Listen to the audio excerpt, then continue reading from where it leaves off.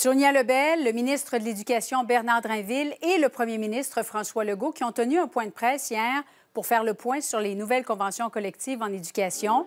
Allons retrouver Emmanuel Latraverse, Mario Dumont et Paul Larocque qui sont avec nous. Bonsoir à vous trois. Bonsoir, Julie. Bonsoir. Bonsoir. Bon, et, et ce qui ressort de ce point de presse, c'est que ça a coûté cher, très cher, et que nous aurons un budget beaucoup plus déficitaire qu'avant les négociations. Paul, d'abord, qu'est-ce que tu as pensé de la déclaration du premier ministre? Bien, le premier ministre, enfin, qui, en a dit beaucoup plus que ça, mais qui, euh, à quelque part, a, énoncé une évidence. Euh, les, conventions collectives, les ententes qui ont été conclues ont coûté beaucoup plus cher que ce que le gouvernement avait projeté euh, dans sa stratégie de négociation. On me confirme aujourd'hui à Québec que ça dépasse de 3 milliards 500 millions de dollars par année ce que le gouvernement avait prévu. J'ai fait un petit calcul, c'est à peu près 400 dollars par citoyen du Québec de plus qui seront versés euh, en impôts pour financer l'ensemble de, de ces hausses de salaire et conditions de travail consenties. Le premier ministre a dit qu'il avait fait un choix personnel, politique de ça, qu'il assumait totalement. C'était euh, la décision qu'il fallait prendre dans les circonstances.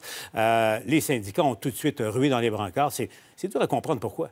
Pourquoi, Mario, les syndicats sont fâchés aujourd'hui?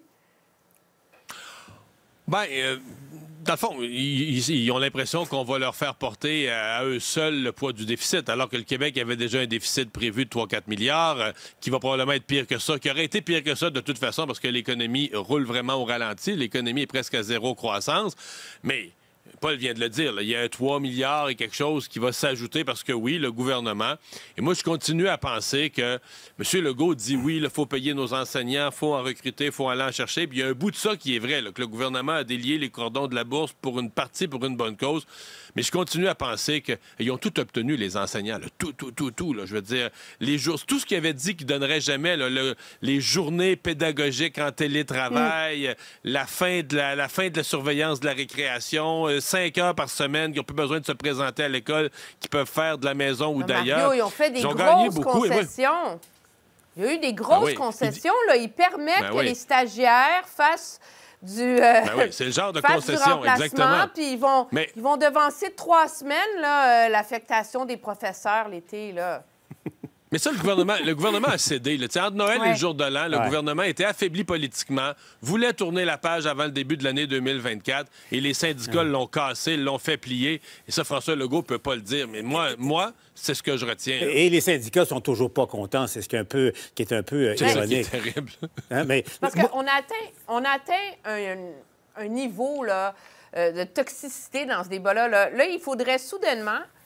On reproche au premier ministre d'avoir dit la vérité aux citoyens du Québec. Ouais, voilà. Alors, il aurait fallu qu'hier, quand M. Legault a présenté le fruit de l'offre, les avantages, les concessions, ce qu'on a donné, qu'ils disent pas trop combien ça coûtait, là, pour épargner la susceptibilité du monde syndical qui veut pas qu'on parle de- de- du coût de ça, parce que dans leur optique, ce ne sont que des investissements.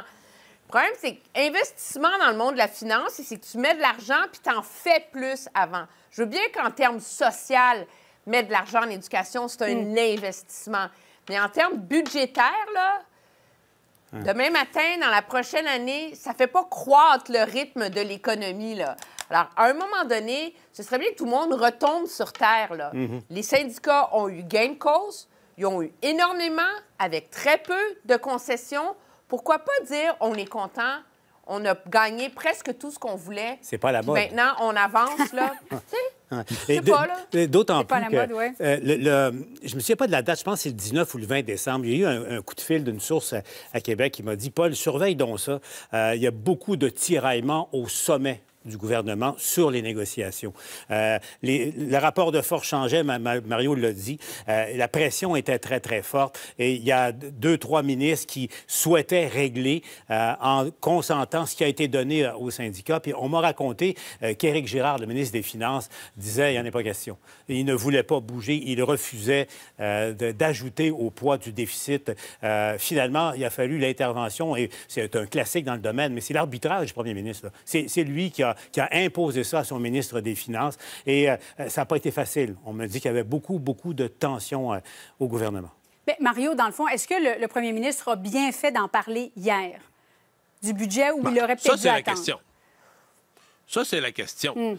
Euh, Emmanuel a certainement raison lorsqu'elle dit qu'il faut toujours bien que le premier ministre dise la vérité sur les finances. Maintenant, est-ce qu'il aurait pu hier dire, ben, dans ma stratégie de communication, là, là, hier, ce dimanche, je me concentre sur l'éducation, puis je parle de nos enseignants, puis le déficit, là, on parlera de ça la semaine prochaine. Il aurait pu. Mais on s'entend que là, on parle plus des faits.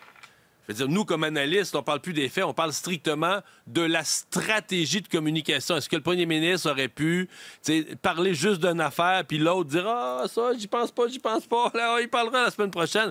Mais là, je veux dire, ça reste que si on se cache des affaires à nous-mêmes, on n'est plus un peuple mature, là, capable de dire ben voici les pauvres, voici les comptes, voici ce qu'on va payer, voici ce qu'on va obtenir, puis de porter un jugement en se disant ben là, cette semaine, on se parle d'une chose pour se faire plaisir. Bon, on va pas penser à la facture, on pensera à la facture. Quand la, la- quand la facture de la carte de crédit va rentrer, on pensera à ce que ça a coûté notre. nous- notre- Mais tu sais, on a donné de l'argent qu'on n'avait pas. C'est- C'est ça qui est ça, là, en bout de ligne, qui fait mal. C'est que c'est de l'argent qui va être emprunté. Là. Les 3 milliards supplémentaires qu'on a donnés, c'est de l'argent qui va être emprunté à 100% On a donné de l'argent, on a signé de l'argent qu'on n'a pas, tout simplement. Emmanuel? Oui, moi, je pense que, que sérieusement, euh, à un moment donné, là, il faut être capable d'avoir un débat mature sur l'éducation. Euh, moi, j'ai aucun reproche à faire au, au premier ministre. J'ai pris la peine de réécouter son point de presse. Il y avait un ton enthousiaste. Il n'y avait aucun reproche dans fa- sa, sa façon de mettre sur table le coût que ça a amené euh, aux finances publiques. À un moment donné, euh, si le premier ministre et le gouvernement assument les choix qu'il a faits, mais il faut que le monde syndical soit capable d'assumer l'exigence de ces demandes. Puis c'est ce qui a manqué dans tout ce débat-là autour des négociations. C'est que c'est comme si ça avait lieu dans un monde magique où l'argent ne coûte rien, où l'argent n'a plus de valeur et où tous les rêves sont possibles. Puis objectivement, quand j'entends le discours de la présidente de la FSE, on est encore dans un monde où on pourrait ouvrir plus de classes quand il n'y a pas d'école puis il n'y a pas de profs. Si c'est ça la base de la réflexion sur l'éducation au Québec, on n'est pas sorti du bois, là. Dans un instant, on va se parler des propos assez controversés du député de Québec solidaire, Haroun Bouazi, qui continue de faire réagir plusieurs jours plus tard, quatre jours plus tard.